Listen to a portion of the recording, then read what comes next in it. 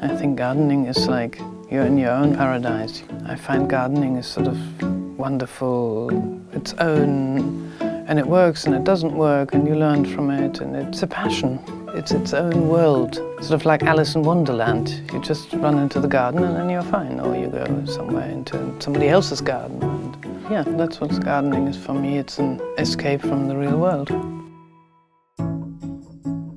Plants need to be able to guide your soul through the season. You know, that you look into the garden and it should tell you what time of year is.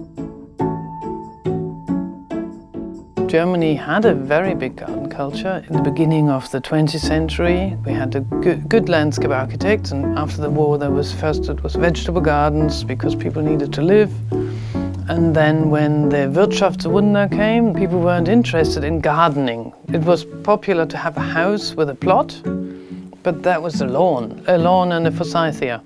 And only in the 70s or 80s did it start that people actually put lounges in their garden or they actually used the garden for recreational purposes.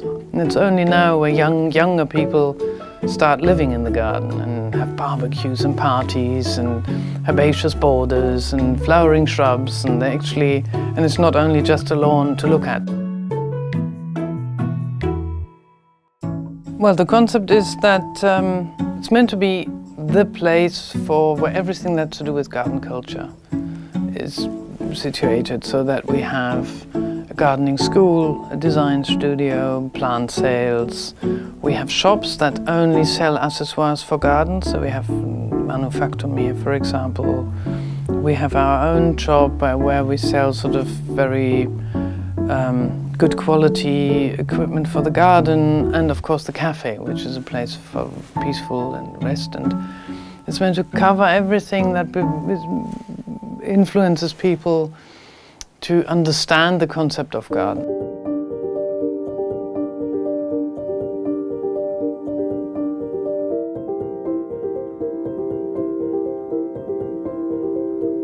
The concept for the cafe is really out of the kitchen garden into the garden kitchen. Um, we try, although we can't grow our own fruit and veg here, we haven't got the space for it, but we try and work with local produce um, in season as much as possible where we can, organic, um, but so that people don't lose touch with what's going on in, in nature and in the real world outside.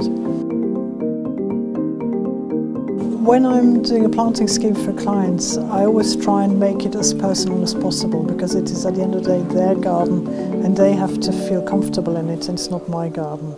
And so I try and encourage people to come as, with as much information as possible, to bring me um, lists of plants they have already or they would like to have, to bring me pictures, um, to get an idea for what sort of colours, what sort of textures, what sort of style they like. Um, and then I'll try and incorporate that as much as possible. It's not always possible and it's not always easy. It's quite often a bit of a challenge. Um, but yeah, you know, it's, it's, that's part of the fun of doing it.